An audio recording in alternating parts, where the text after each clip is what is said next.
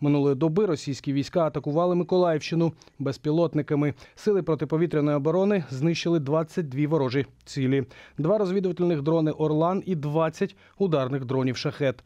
Постраждалих немає, повідомляє обласна військова адміністрація. Також вчора, близько 21.45, Миколаїв зазнав ракетного удару. Влучання зафіксовано в об'єкт інфраструктури на околицях міста.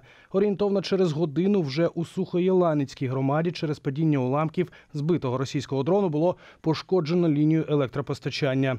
Також близько третьої ночі, 28 вересня, у Степівській громаді уламки ворожого БПЛА, який ліквідувала українська ППО, пошкодили господарчу споруду. Не було спокійно і в межах акваторії Очаківської громади. Там у 4.05 фіксувалися артилерійські удари. Постраждалих немає.